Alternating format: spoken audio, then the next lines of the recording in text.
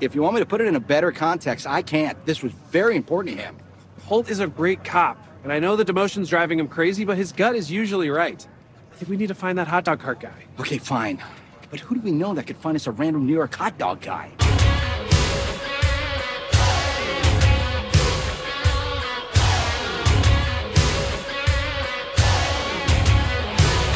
So, you need a little help from the Wiener Warriors. Well, I hate that. Just tell us what you know, please. There's Lou's Dogs. He serves them up real plump. Big Mike's does two dogs per bun. Hank's Frank's, great mustard selection. Vicky's vegan.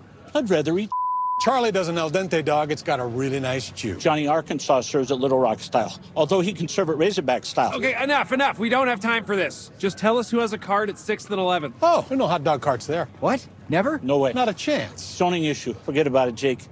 It's Hunger Town. Oh my god, Holt was right. We have to call him.